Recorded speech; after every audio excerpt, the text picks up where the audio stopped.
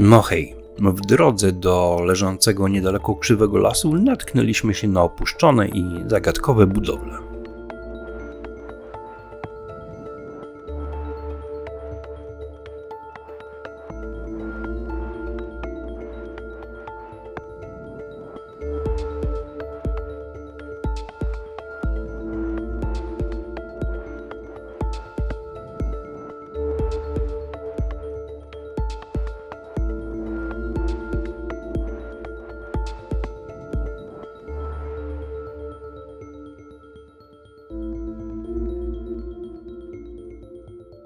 Z pewną obawą wchodzimy do ruin pamiętających odległe i mroczne czasy.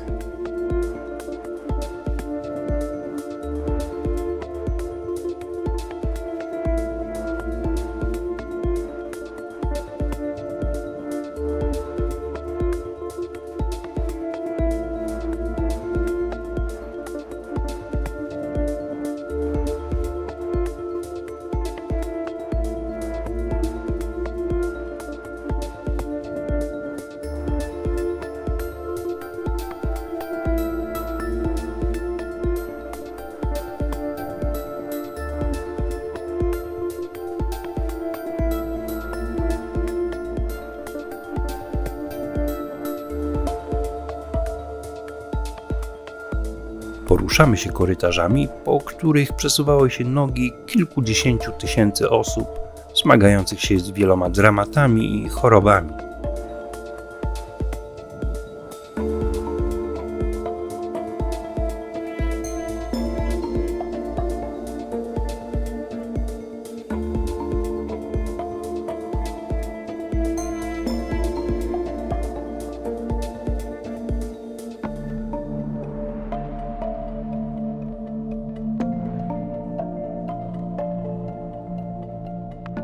Te zbudowane na planie półkola, niskie, parterowe budynki powstały w czasie II wojny światowej.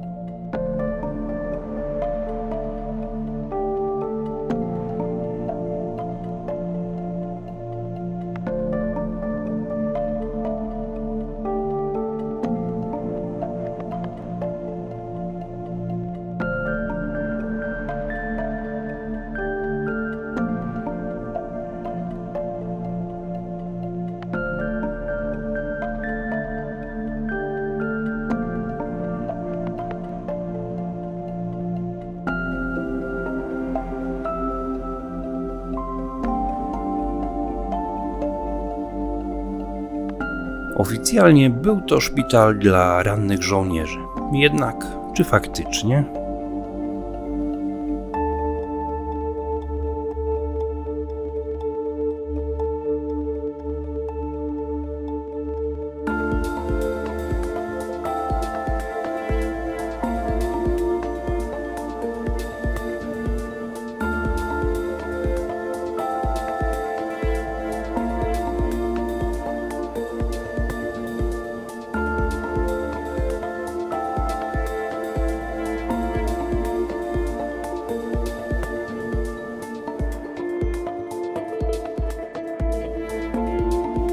Prawdopodobnie był to jeden z kilkudziesięciu obiektów wykorzystywanych w ramach akcji Brand od nazwiska słynnego lekarza Hitlera, który awansował na komisarza Rzeszy do spraw służby zdrowia.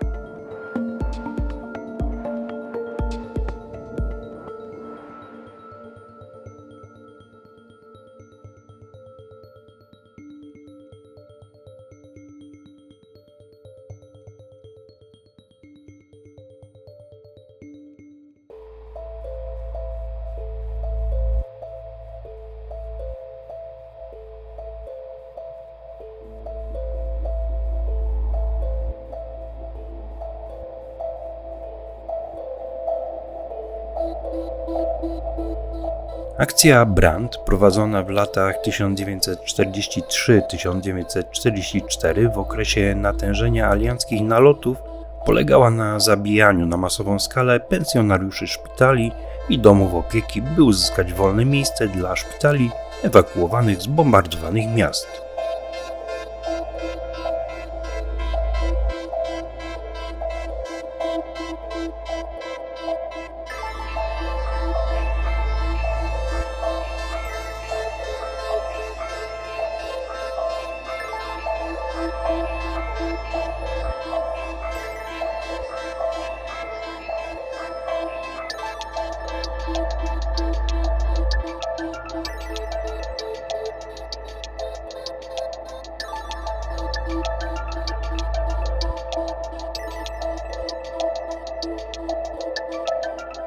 Zgodnie z założeniami hitlerowców likwidowano nie tylko chorych psychicznie i upośledzonych, ale także osoby starsze, przebywające w domach starców, chorych wymagających stałej opieki, a nawet rannych żołnierzy, u których wystąpiły zaburzenia psychiczne na skutek przeżyć frontowych oraz chorujących jeńców.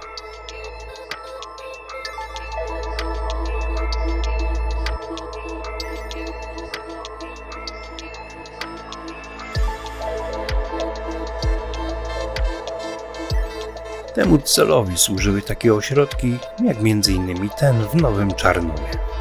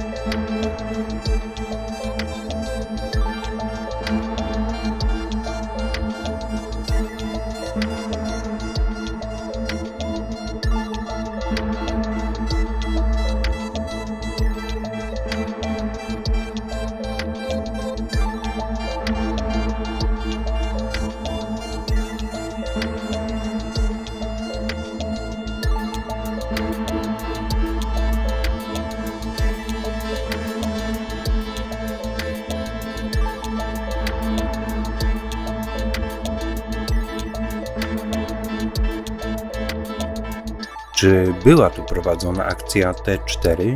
Tego się najprawdopodobniej nigdy nie dowiemy.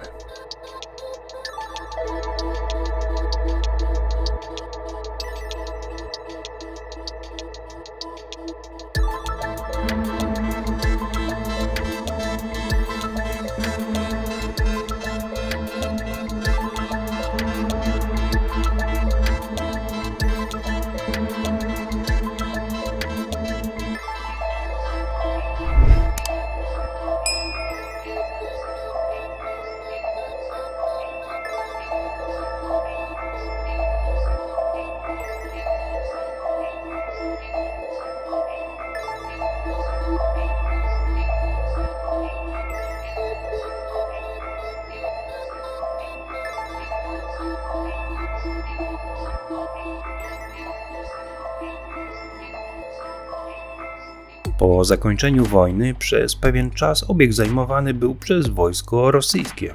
Wówczas to wywieziono z niego większość wyposażenia.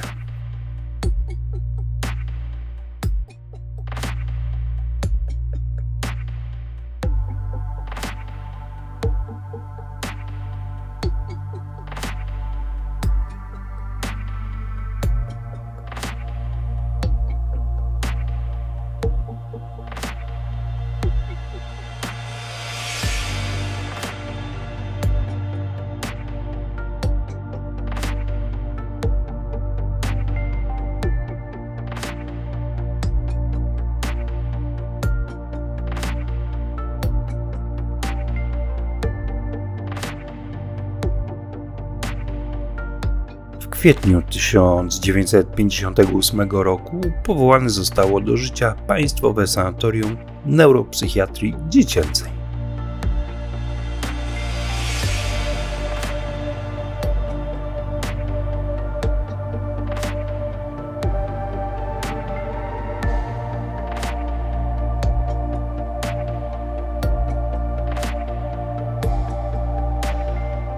Przez sanatoryjne sale przewinęło się około 30 tysięcy małych pacjentów.